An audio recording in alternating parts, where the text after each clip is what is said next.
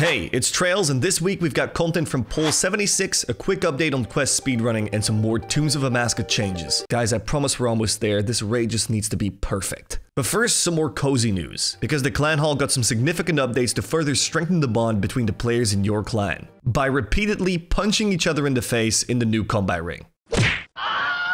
On top of that, a party chest has been added to celebrate your well-deserved victory. The combat ring is located in the northwest section of the clan hall. It works exactly the same as all the others. It's a safe death, and the gloves and other player-owned housing items cannot be removed from the ring. So don't try sneaking them back to Falador. It's not gonna work this time. The clan hall party chests work just like the Falador party room. Tell your clan leader to set up the permissions in the clan settings, place your items in the party chest in the main section of the clan hall, and get ready to pop those balloons. Stackable items, including the noted ones, can be added to the party chest and will drop in bunches. The chest will also display a stack count, just like banks, and this will also be added to the main party room chest. No more counting up the items. Party Pete, you're welcome.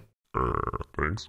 To make things fair, items will remain on the ground for a full 5 minutes, giving you plenty of time to grab your stuff. But watch out, the clan hall is still an instance, so the party will go on as long as there's someone in the clan hall. But if everyone leaves, the instance will be deleted along with all the dropped items. That's the last of the Poll 76 changes, but definitely keep an eye out for the upcoming blog, which will tell you all the cool stuff you can vote on in Poll 77. You can find this soon on the Old School RuneScape website. Let's keep partying and check out your league's accomplishments with the League Accomplishment Scroll, now located in the trophy room of your player-owned house. It contains all data from the most recent League Shattered Relics. You can right-click the scroll to see your stats from the League, the top 100 players, and all the Shattered Relics League firsts. Just like you, I can't wait for more information about the next League, but there's nothing to share unfortunately, so we'll have to wait a little bit longer. But let's take a look at the latest updates from the leadership team because we now have a set date for the release of Quest speedrunning. Starting Wednesday, October 12th, it's time to show other speedrunners what you're worth. One more round of review and feedback, an engine update, and a new pair of running shoes, and we're ready to kick off the official Quest speedrunning worlds. Also following your feedback, there's been a couple extra changes to Tombs of Amascut. Players are now able to drop the following potions anywhere inside the tombs and have them show up immediately, so that one friend that's hoarding all the supplies can finally tag along again.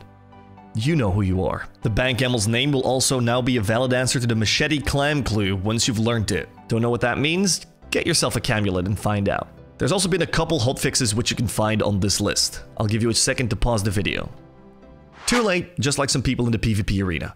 No one likes a no-show right? In the PvP arena, these affect the matchmaking system, and they cause unnecessary frustration. To encourage people to stick around, there's now a system in place that penalizes players who fail to attend their duels. Rank points will now be automatically removed when players receive an invitation to a duel. But don't panic, they'll be restored as soon as you enter the staging area where the fight begins. If your duel partner fails to appear, your points will still be refunded as long as you yourself have made it to the staging area. This change won't really affect people who are competing in the PvP arena normally, but it's aimed at repeat offenders, not players who have to skip duels rarely for legitimate reasons. Lastly, there have been a couple of nice miscellaneous quality of life changes. For example, a check option has now been added to the Explorer's Ring, which will tell you how many alchs, teleports, and run restores you have left. The entries and boss and slayer logs are also now sorted alphabetically. This tickles my brain really nicely, along with these small changes.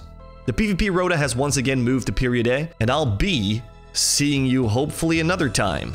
That was awful. I'm sorry. I was OnlyTrails for the OSRS weekly recap. My link will be in the description if you want to check out my channel. Thanks to Jagex for giving me the opportunity to host a couple of these, and I hope you enjoyed it. Peace.